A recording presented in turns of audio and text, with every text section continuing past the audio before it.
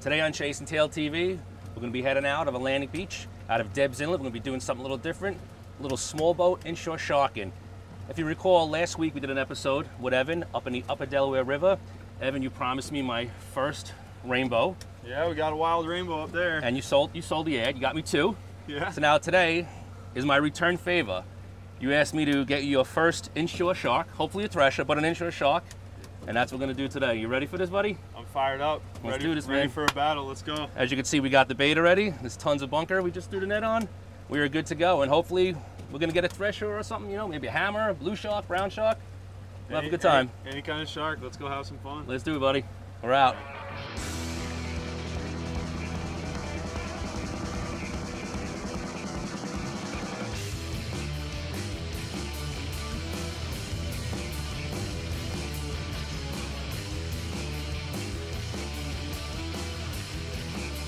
So now if it's like if it's flat and you don't want to use a lot of the chum, you can let the line go out longer. So now the rock in the boat's not going to affect the chum, so it won't go out as fast. If you want the chum to go out faster, pull it in closer and take it out of the water a little bit. Now as the boat rocks, it's working that chum bucket a little harder. We'll do that with this one. We'll keep this one a little closer just to get our chum slick going. My favorite bait to use right now is basically, I call it a flapping bunker, but it's really a butterfly bunker. So what you can do is basically, I do it this way, I'll stab it right in here and just come right down like that. Come around the other side, stab it in, and just bring it right back to you. Right, and then take off. This fish doesn't have a tail. Normally I would just cut off the tail, but he doesn't have one, so it's fine. Now what you do is I do my rigging needle here. And with the new laws now, we got to use circle hooks, which is fishing inshore, and that's within the three mile line. We're a little bit over our three mile line, but I'll still go with the inshore rules. that's a 20 Eagle Claw circle hook, and I'll put a small little piece of wax line on there. And this is the way they do it actually in, in Florida. They rig it this way. So I'm going to come through the bottom. In Florida, when they're using like the uh, the goggle eyes and stuff for the kites, they'll put it through the back here, Okay. and they'll keep the fish alive. So that's through there. So you have that like that. Let me just put this here so I don't lose that. So then what you want to do is now once you have that circle hooked through, right? Take your wax line. You're gonna go right back through the tip of the hook like that. Then what you want to do is you twist it. One, two, three, four, five. Let's go with six times. Now you see that little loop right there? You bet. We're gonna take the tip of that hook and go right back through that. So push this like this. And run this right back through there. And bring it back. And that's it. And if I want to tighten a little more, I could go a little more tighter. And so on. And that now leaves this hook fully exposed to get a fish on there. So that thing, nothing's gonna, you know, be in the way of that that gap. And I could have went a little bit, I could have made a couple more turns just to get a little bit tighter. Let me see if I can get this through. Probably not. Yeah, I should have went a little tighter, but that's fine. You know, I could, sometimes I can run a hook right so it's on top of the head of that fish. But that's basically the bait right there. Which way your chum's going. What's nice about doing a bait too, like when it's going through the current, it goes like this. So it actually looks like the bait is swimming, which is pretty cool. Makes sense. Right now, basically, we've got a 10 ounce lead sinker, nothing special, Yeah. little electrical tape. So you get a couple wraps, and now you, you know you put a couple wraps around the lead, so you can see that. Yeah. Now what you do is you take your wire. I'm going to put it right basically on this cable wrap right here. You can put it on the wire, but I'll go to the cable. This way it doesn't slide. And just do a couple more wraps around the cable. You can see that, Evan. Yeah, I do. I'm doing a Got to get her down. Yep. Pop that off. And that's basically it. Now that could fall off, it'll slide off, off. You know, if you need to, it's not really in a way I can undo it, but it's fine. And that's a 10 ounce. All right, so now we have our sinker set up. Everything's good. I'm gonna start counting it down. Some people do six foot poles. I usually do about two foot. So here's your weight. So that's already two feet, let's say. So count. Four, six, eight, 10. So that's about like 10 feet, you know? And it's do another, you know, keep going. Yeah. Two, four, six, eight, 20. And there's 20. Now I'm up to my bimini twist, which is right here. Okay. And that's with the double line. So that's approximately about 20 feet down. We'll go a little more. Two, four, six, eight, 30, two, four, six, eight, 40. So that's about 45 feet because that bait's a little bit lower than the weight. Right. So about 45 feet. So lock it up for a second, and we grab a balloon. What color you like today? Ah, green. Green for money, baby. You bet. You bet. Keep it green. So now when you blow these balloons up, you don't want to make them too, too big All right. because then the shark's got more resistance trying to pull the bait down. Okay. So you do a little small, you know, like softball. Probably right about there. It up. Everybody does their balloons differently. You know, there's really no set way to doing it. One person might do it one way.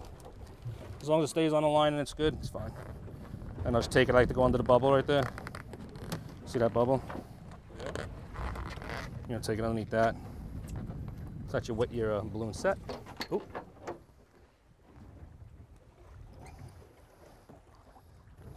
We actually got some current. If you see, this line's on an angle.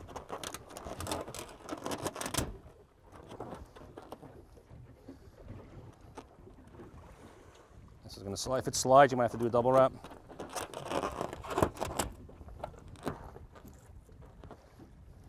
Just cinch up on it. See, it's not going anywhere now. It's snug. It's staying in that area. That's good. So now this is going to be our far rod, so we'll just let it go. Let's let that keep going out. And that's going to be a far rod, far and deep. We got a nice drift. I mean, look how fast that balloon's walking away Yeah. from the boater. We got a really good drift going.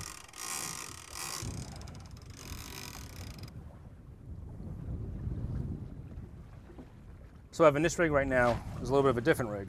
This is a cable. We have 10 feet of cable here. And we attached a small section, four to five feet of the single strand wire. Then I have a rattle on it, a little traction, Yep. followed by a multicolor skirt. I think this is a zucchini color. And again, another circle hook. Like this one I'm gonna of do. It. looks good, right? It looks definitely fishy.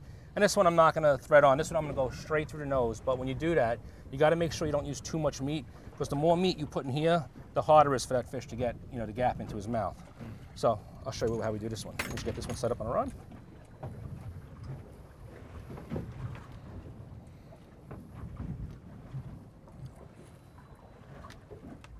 That is a total of like 14 feet too. So if we get something with two guys, it's a little bit tougher to land them. A little bit. Yeah, there's all this cable. The shark be out there, and you can't reel it anymore. But It's gonna be. Uh, part of the game, right? It's fun, man. This is all uh, exponentially uh, larger than what I'm used to. This ain't no rainbow trap. yeah. Again, the same thing. We'll do the lead. This is an eight ounce, All right. and you can see today you definitely need the lead by the Yeah, current that we absolutely. With this current and drift. So just, oops, sorry about that.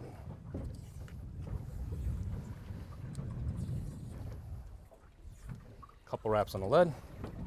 Take it over to the. I'm gonna put this right on top of the model, right above it. Ooh. Got to get your sea legs going today with the swell. No kidding. Okay, so that's on now. So that's ready to go. Lay that there. Let's get another bunker. Again, I'm going to do the same style bait. We're going to just stick it in here. Out. Reverse. This also puts out flavor too. And now this one has a tail, so we're going to take a quick cut. Just take that tail off, and that's our bait. So remember I was telling you about the loaded bunker before? Yeah, yeah. You asked what that is? Here's what we do. So we'll only use a little piece of lip here because, again, it's a circle hook. See how small of an area I got? Right. So I'm really not doing much of that. Now what I could do is, probably need a knife for this. Probably should have did it before, but you can open up this mouth right there. Gotta open this up. Of course, he's got to close his mouth and be difficult.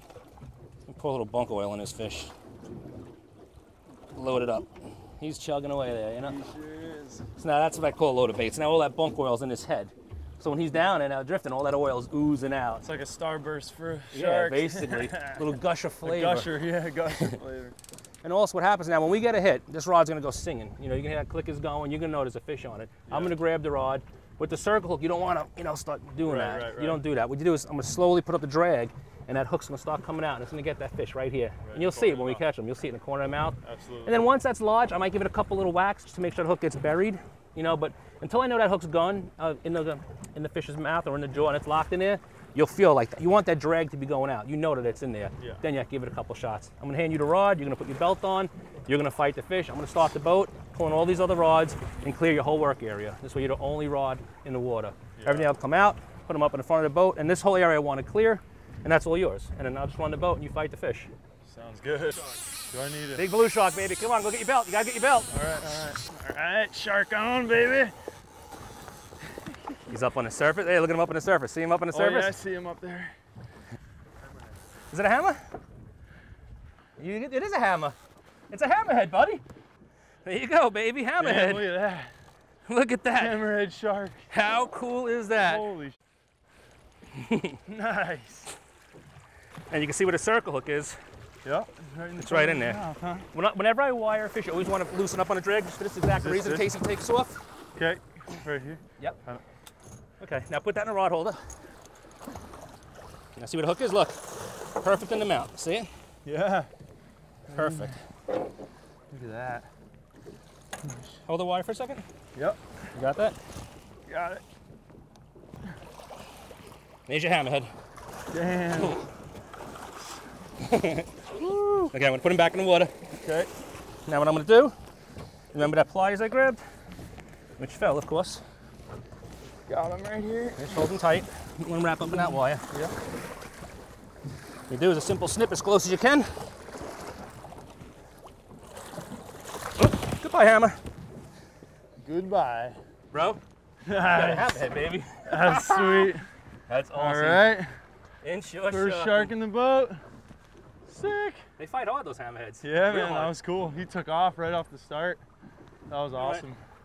Evan, we did it. Got you your first inshore shark. We got your nice hammerhead shark. Didn't get the thresher, but we still got you your first inshore shark. So what'd you think? Oh man, that was a lot of fun. Yeah. Thanks, for, thanks for having me out here, and uh, it was really cool to see that hammerhead come to the boat. Definitely cool, brother. Thank you again for coming. We'll do it again. Absolutely, sir. Thank you. Let's do it.